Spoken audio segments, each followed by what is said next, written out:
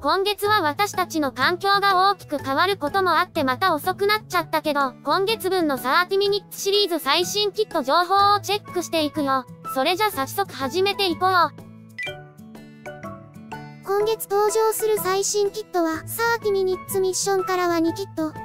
30ミニッツシスターズからは6キットとそこそこ多めの数となっているようです。というわけでまずは30ミニッツミッションから、一つ目はこちらスピナティアリーパー仕様となっています。おお、ついにナイト仕様のタイになると思われるスピナティアの新作キットが登場だね。このリーパー仕様は薄紫のスピナティアノーマルをベースに悪魔モチーフっぽい感じの各種装備を追加したもので、今までやりづらかったダークサイド的なかっこよさを簡単に演出できるようになるのは結構嬉しいね。ざっと走行を見た感じだと、フェイスパーツはサイドに悪魔的な角を持っていたり、格子状の表面から素体のクリアバイザーが見えることで、これまでとは違った印象の見た目になるというのも面白いポイントですし、この肩走行のような感じで展開している部分は肩ではなく背中から伸びてきているもののようで、こういう感じで肩走行を表現することもできるんだなって見ているだけで新鮮な感じがするのも良いですね。さらに、上半身の追加走行ユニットは本体からパージすることで、コウモリ型のサポートメカとして運用することもできるというありそうでなかった機能も持っているらしいよ。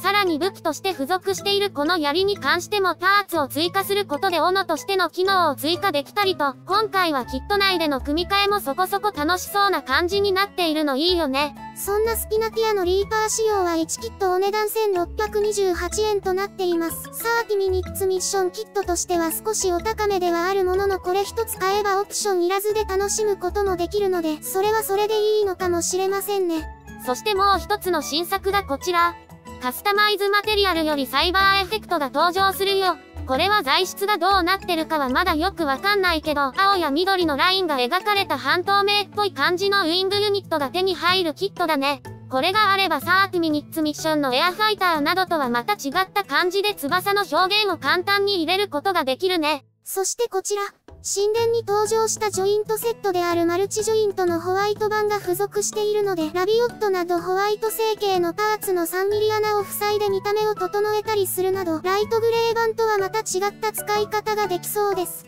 そんなサイバーエフェクトセット、お値段は1セット748円となっているよ。価格的にはエグザビークルに近くなってきてる気はするけど、実際のボリュームはどんな感じなんだろう？楽しみだね。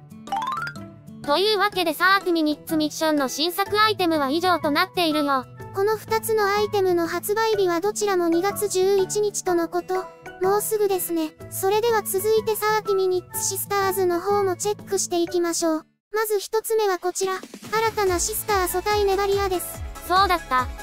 30ミニッツミッションのリーパー仕様に気を取られてたけどこっちの方も悪魔モチーフが出るんだったね。そんなメバリアは部屋から本体までパープル系とスピナティアリーパーの方とのミキシングも楽しそうな感じで、肌カラーは A タイプ。素体はまたもや新型になる B 型という規格が採用されているみたいだね。装備をできるだけ取り払った素体の状態を見ると袖や太もも周りなどにドレスっぽく見える衣装があり、小悪魔的な感じにも、そして優雅な女王、あるいは魔王的な感じにもカスタムできそうです。ちなみに付属する簡易武装は背中にセットする小型ウイングやヘッドギアに尻尾、武器のトライデントといった感じで、このセット内容だけで言えばどちらかといえば小悪魔よりな感じかな？ただこれはリーパー仕様の追加装備と組み合わせると、うん。これは両方揃うのが楽しみだね。そんなネバリアの気になるお値段は1キット2750円。素体としては平均的なお値段ですね。あとは買いやすくなりさえすれば。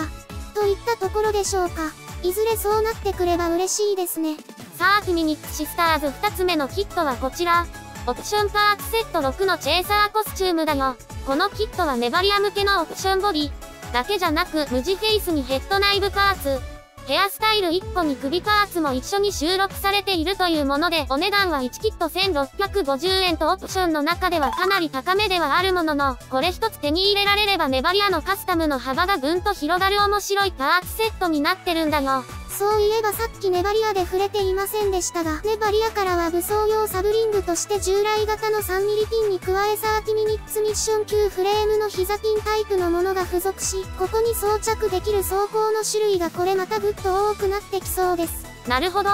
プレ版のタワラリーカリトンの陸戦アルト膝走行はこれを使って接続されているのか。サークミニックシスターズの方も少しずつできることが増えていってていいね。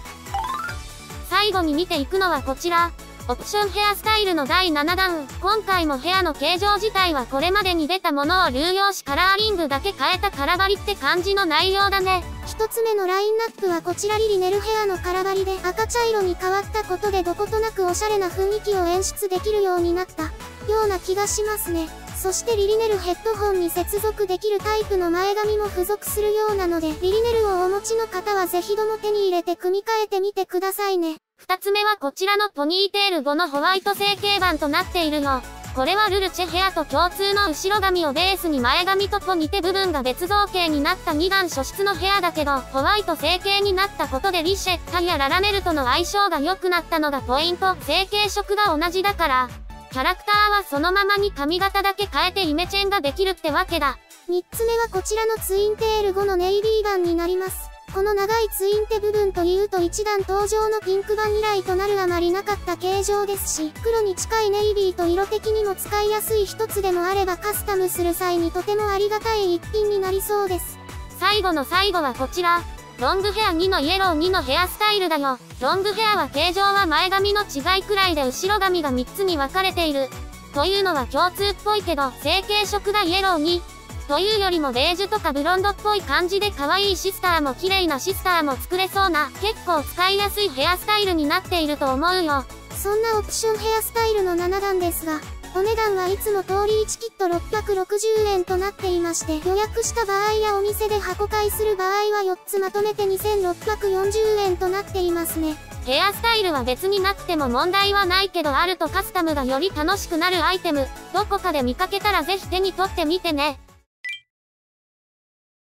わけで、今月新発売のサーキミニッツシリーズ最新アイテムはのラインナップは以上となっています。今月のメインアイテムはスピナキアリーパー仕様と新シスターネバリア。どちらも悪魔モチーフと統一されたものとなっているのがポイントになりますね。イメージが統一されている分バリエーションには欠けるように思えるかもだけど、動画中でもちらほら触れていたようにイメージが同じな分それぞれを組み替えたりパーツ交換し合うことで、それだけでもカスタムが成立しやすくなってるってのがポイントなんだ。もちろん片方だけでも組むだけで楽しめる要素はしっかり持っていますが、できれば2つどちらも入手したいいところですね。